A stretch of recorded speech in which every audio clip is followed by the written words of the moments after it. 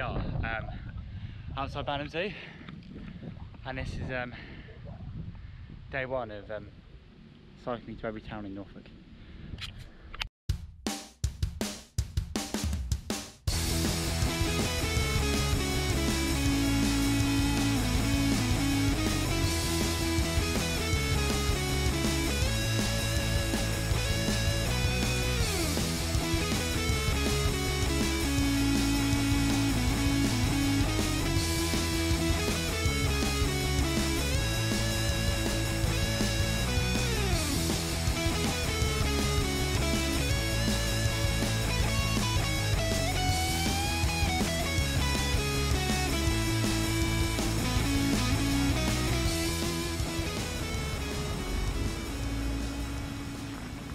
Four miles to Watton.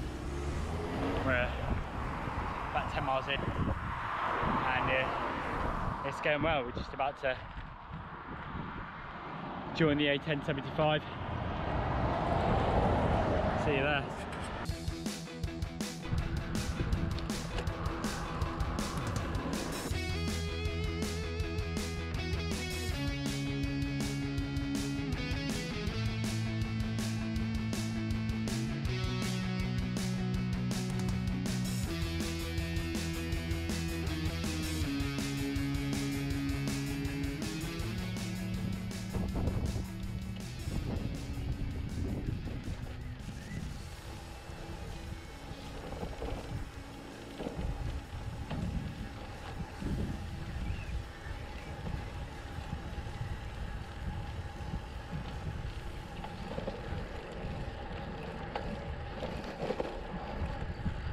Here we are.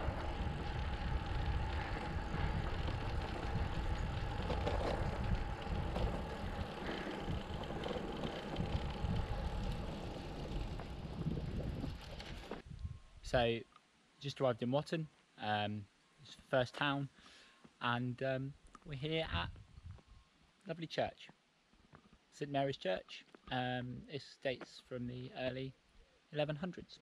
Now, unfortunately, I would go have a look inside the church, but they're obviously closed um, at the moment. So we'll have to just have a little have a little look round.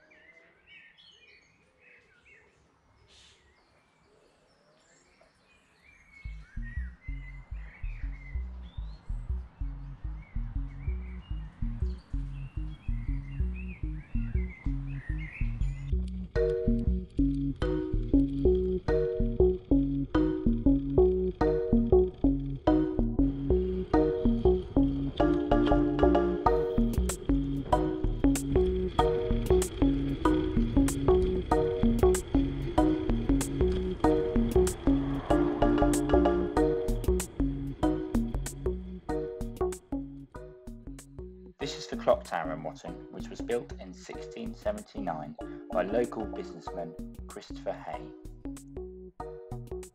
The top of the tower held a bell, which was used to warn residents of Watton and the surrounding villages of fire, and the tower was most likely built due to a fire that happened earlier that decade.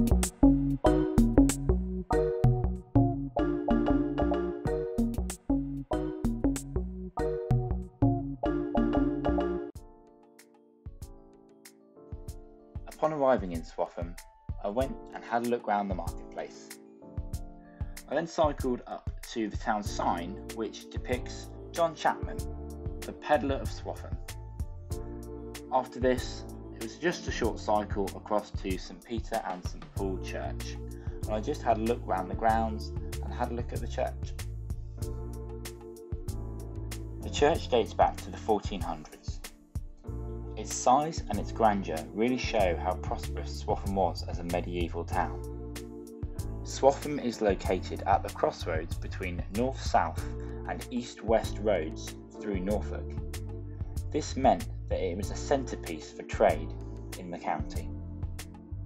All that was left to do now was just to cycle back.